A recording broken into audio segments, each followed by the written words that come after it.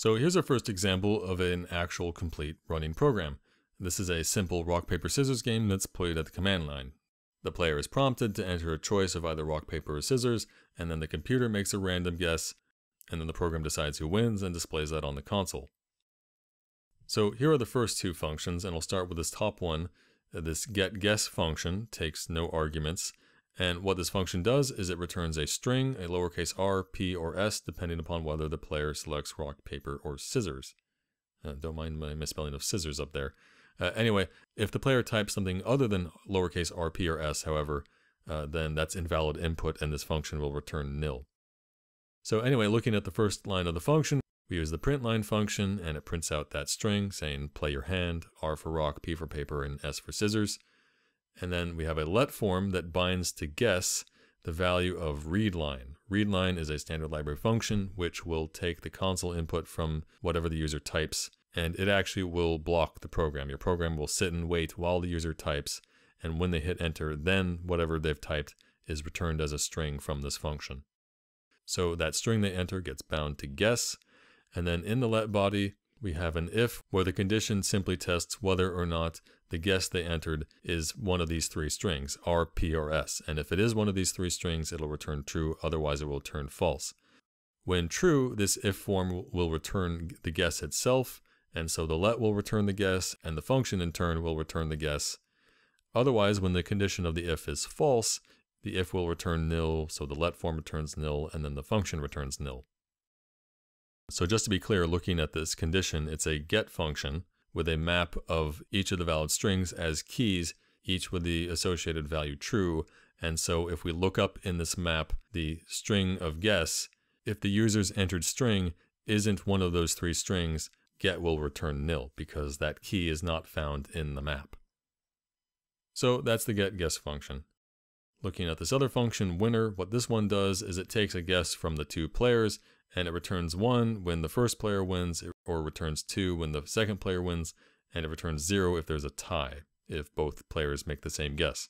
The guesses are passed to the function in the form of a string of the lowercase character RPRS, and first thing that the function does is it has a let form binding to the symbol guesses, a vector of both guess 1 and guess 2.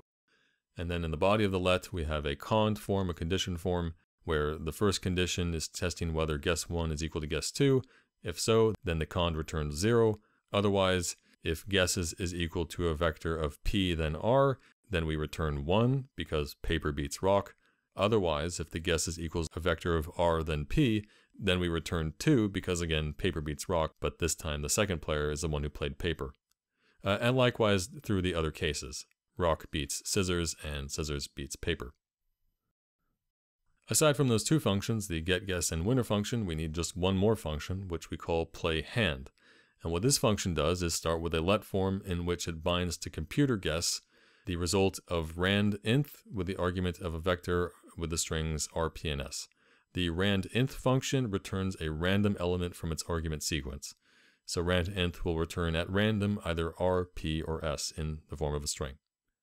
The symbol player guess gets bound the returned value of get guess, which again will prompt the user and ask them to input either the string R, P, or S. And if they input anything other than that, then this function will return nil. So player guess might actually be nil.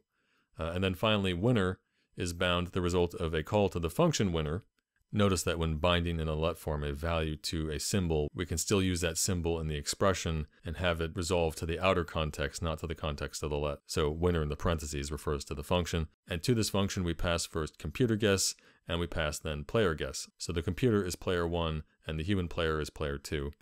And notice also here that in this let form, in this expression, we can use the symbols bound from previous bindings. So the order of bindings can actually matter in a let because in subsequent bindings, you can use the symbols that have already been bound.